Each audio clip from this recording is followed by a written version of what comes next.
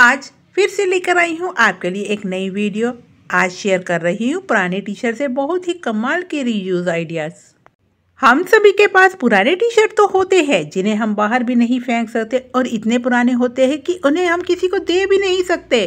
तो मैंने सोचा, क्यों ना इन टी शर्ट का रीयूज किया जाए, जिससे ये टी शर्ट इस्तेमाल में भी आ जाए और हमें फेंकनी भी ना पड़े। आप सोच भी नहीं सकते। इतने अच्छे तरीके से इनका बिना सुई धागे, बिना सिलाई मशीन के आप इस्तेमाल कर सकते हैं। अगर आपके पास सिलाई मशीन नहीं है और आप ज़्यादा मेहनत भी नहीं करना चाहते तो एकदम इजी और यूजफुल आइडिया आपके साथ शेयर कर रही हूँ। तो चलिए, देर न करते हुए वीडियो शुरू करते हैं। सबसे पहले ये एक टी शर्ट ली है मैंने। इसे इस तरह से बिछा कर रख दिया है। फिर इस तरीके से मैं अंदाजे से ही मेज़रमेंट लेकर बाजुओं के नीचे से सीधे सीधे काट रही हूँ। इस तरीके से इसे कट कर लिया। अब इस टी शर्ट को मैंने उल्टा कर लिया है। और ऊपर की साइड, जहाँ पर फोल्डिंग नहीं है, वहाँ पर जहाँ से हमने कट किया है, वहाँ पर इस तरीके से पकड़ लेंगे। थोड़ा थोड़ा टी शर्ट को मोड़ते हुए।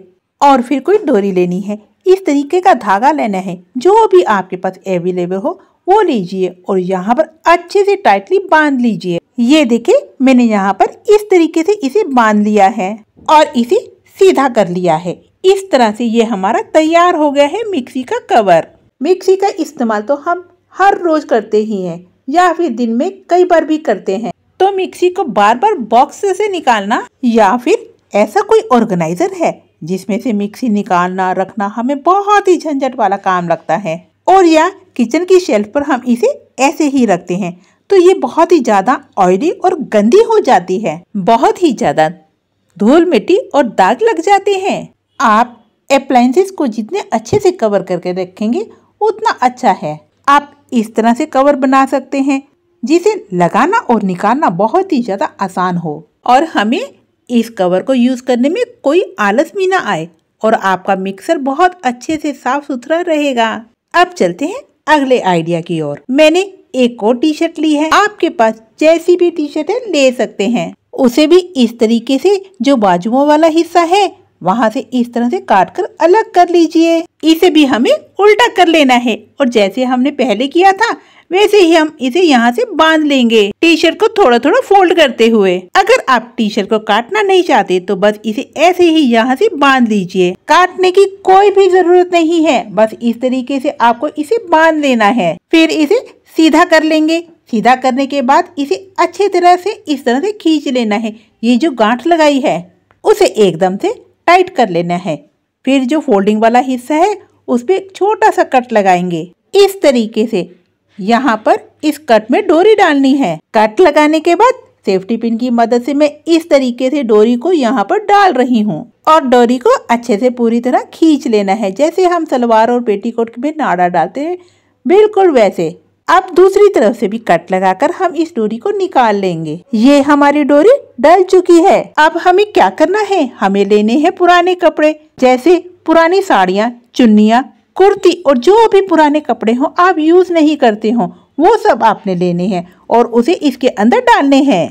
आप चाहे तो बच्चों के सॉफ्ट टॉयज जो थोड़े खराब हो चुके हैं, बच्चे यूज़ नहीं करते, उनमें से कॉटन निकाल कर भी उस कॉटन का इस्तेमाल कर सकते हैं। या फिर बाज़ार से आसानी से रुई मिल जाती है, बहुत ज़्यादा सस्ती होती है, वो भी इस्तेमाल कर सकते हैं, इसमें रुई भी भर सकते हैं। ये बहुत ही ज़्यादा अच्छा सॉफ्ट डिज़ाइनर कुशन बनकर तैयार हो जाएगा। तरह से इसे अच्छे से पुराने कपड़ों से भर लेना है। उसके बाद डोरी को टाइटली बाँध लेना है। मैंने डोरी को बाँध दिया है। ये बहुत ही प्यारा सा डिज़ाइनर कुशन बनकर तैयार हो चुका है। आप भी इस तरह से कई सारे रंगों में गोल कुशन बनाकर तैयार कर सकते हैं। जो आपके घर की शान को बढ़ा सकते हैं और आपके घर को डेकोर करने में बहुत ज़्यादा काम आएँगे। एकदम आसान तरीका है। इसे आप बना सकते हैं। अब अगला आइडिया इसके लिए भी मैंने ली है एक और पुरानी टी शर्ट जिसके ऊपर थोड़े से दाग लगे हुए हैं।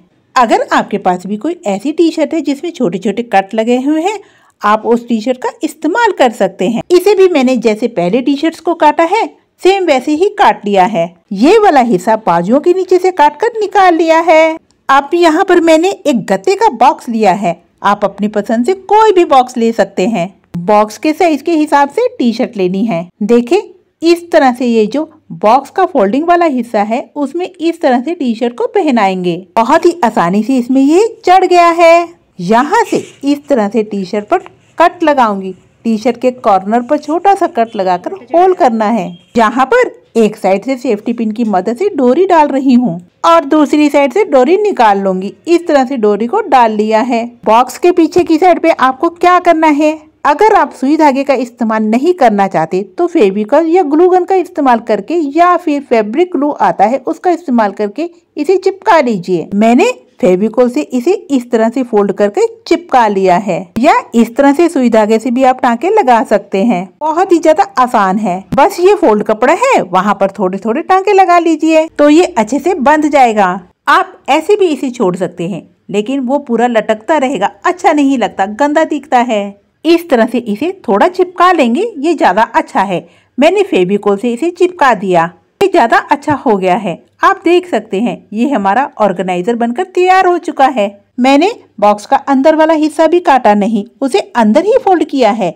इससे मजबूती ज़्यादा रहती है। इस तरीके से आप इसे बंद भी कर सकते हैं और खुला भी रख सकते हैं। आप अपने हिसाब से बॉक्स बनाकर उसमें साड़ियाँ, बेडशीट और जो कपड़े आप इस्तेमाल नहीं करते, उन्हें भी रख सकते हैं। मैंने ये छोटा बॉक्स बनाया है तो मैं इसमें छोटी छोटी शीशियाँ रख रही हूँ।